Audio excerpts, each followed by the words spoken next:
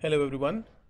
In this video, we will see how you can sign up and set up your organization based out of India in Deskera Books. Let's start. The first thing that you need to do is key in your email address.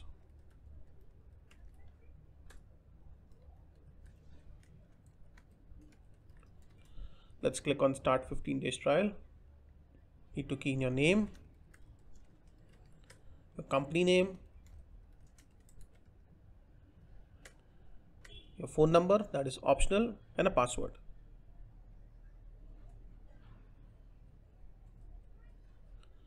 Let's click on continue. You can key in your card details if you want to get 50% off or you can start your trial without any card.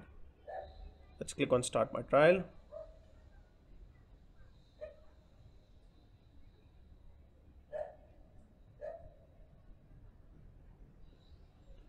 Let's go to the product. The first thing that you need to do is open up your mailbox and verify the email that you get from Deskera. Let me do that in the background.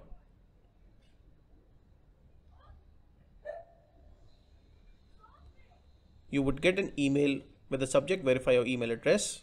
Simply click on the link and your email address and your account gets verified. Once that is done, let's click on books.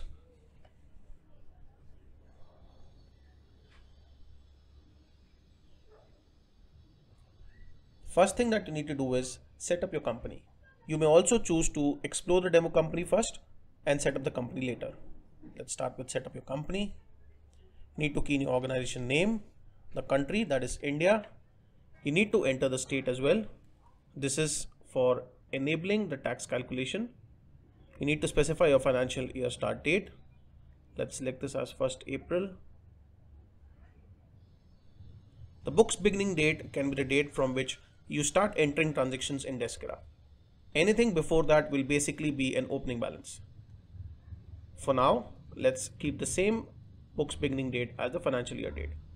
If you are a GST registered entity, click on yes and key in the GSTN number.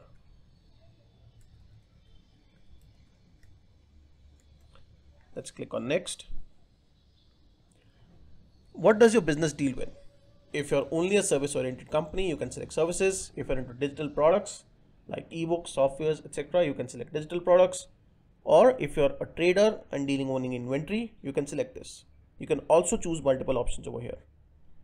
If you have a pick pack ship model for dispatching goods, you may enable this. If you have multiple warehouses or price list, you can enable this as well. You also have the option to enable this at a later stage. Let's enable this for now and click on all set. Our initial setup is done. The next steps involve the onboarding. Now you may start by directly creating your invoice, your expense, you may start importing your data or you can start connecting your bank. Let's go to settings first.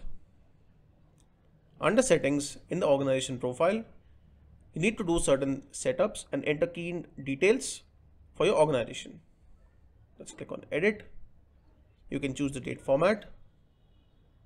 Under finance, you can enable multi-currency. You can specify the number of decimal places you want and the number format. Let's select this one. Under the compliance rules, if you've already enabled GST, then you need not enter the GSTIN again. But in case you missed out, you can always do it from here. You need to enter the GST register date. Let's do that.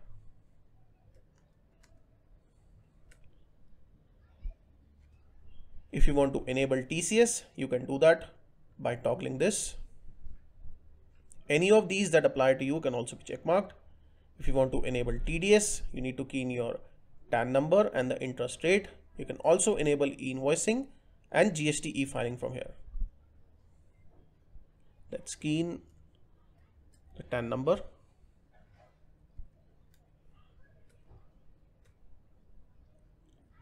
Under addresses, you need to specify your organization address. Let's specify the details.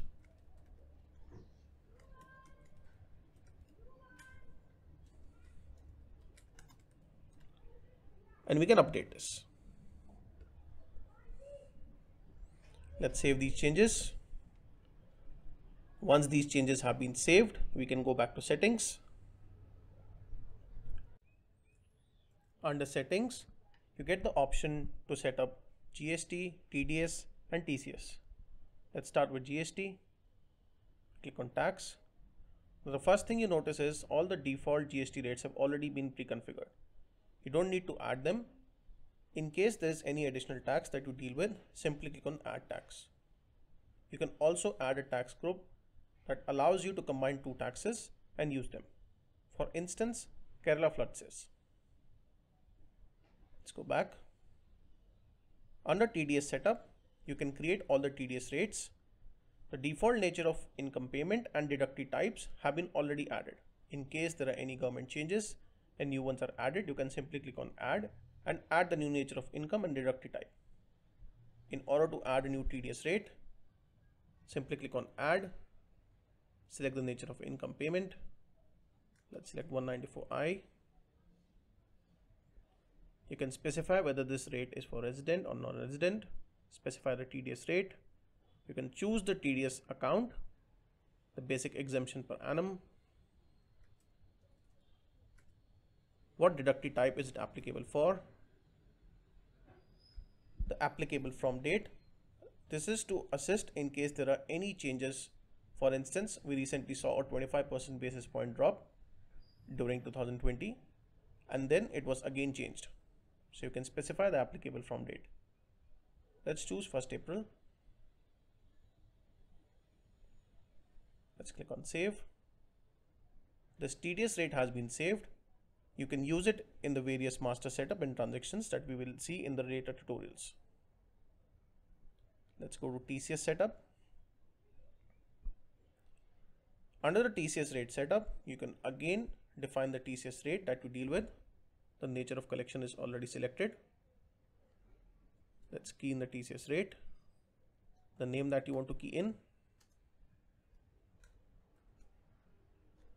This option is also provided in case TCS rates change we click on save and the TCS rate is also saved this can now be used in transactions need to make sure TCS is enabled in the organization profile compliance settings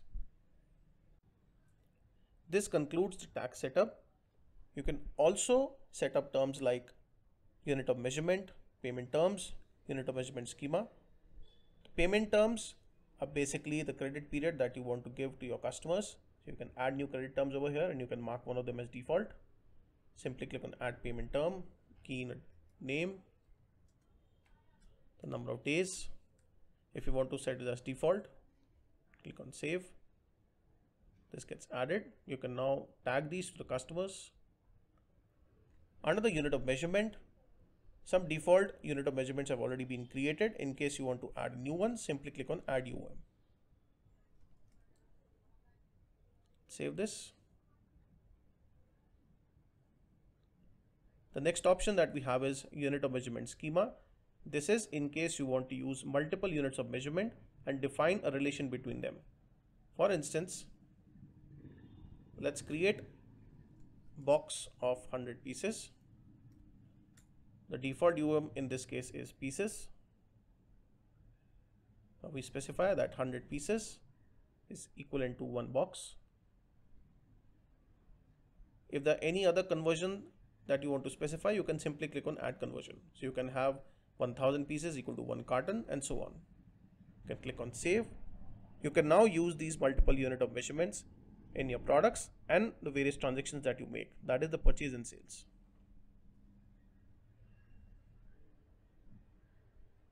There are various other setups that you can also do. For instance, creation of custom fields. In case you require some additional fields, depending on the nature of your business, simply click on custom fields, click on create. Let's create a custom field called brand. This can be a text field, a number, or a multiple selection drop down field. Select this one. Let's add the various drop down values.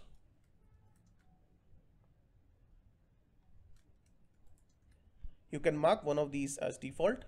Let's click on next you can choose where to show these you can enable this at the contact account that is ledgers, products, journals or any other transaction.